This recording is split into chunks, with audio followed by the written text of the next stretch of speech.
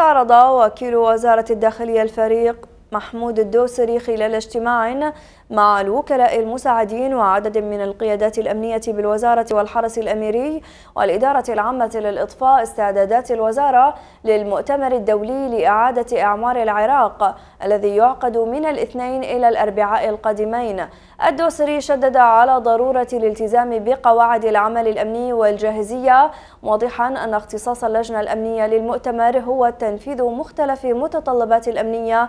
وفق القواعد والإجراءات المعمول بها ووضع خطة مرورية مرنة والتنسيق مع لجنة المراسم والاستقبال والضيافة.